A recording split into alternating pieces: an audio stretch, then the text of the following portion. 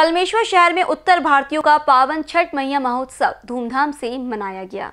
इस पर्व पर सभी उत्तर भारतीय पर्व की शुरुआत में कलमेश्वर शहर में बने पूजा घाट पर शाम के समय डूबते सूर्य को अर्घ देकर विधिवत पूजा अर्चना करते हैं। छठ मैया की पूजा के लिए महिलाएँ 48 घंटों का निर्जला उपवास करती हैं। जिसने यह उपवास किया, वह व्यक्ति पानी तक नहीं पीता। दूसरे दिन सुबह पाँच बजे सभी लोग पूजा घाट पर पहुंचकर उगते सूर्य को अर्घ देकर उनकी पूजा करती है। छठ पूजा महोत्सव में सभी महिलाएँ हाथों में मेहंदी लगाकर सज धज कर घाट पर आकर मैया के मंगल गीतों को गाते लगाते हुए पूजन करती हैं।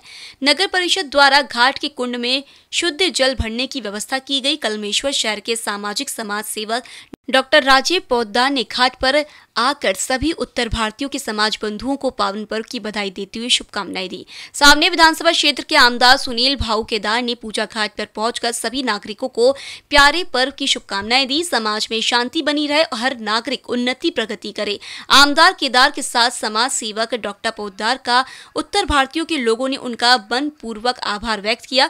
उत्तर भारतीयों के ओम प्रकाश यादव राज प्रकाश पाठक मुकेश सिंह, मणि महेश यादव, सीताराम यादव, संजय मंडल, पूनम सोन, प्रगति मंडल, अजेंद्र सिंह, चंद्रभूषण पांडे, संदीप सिंह, दद्दन शुक्ला, बीएन सिंह, प्रवीर सिंह, दामोदर रॉय के साथ अनेक नागरिकों ने उनका स्वागत किया।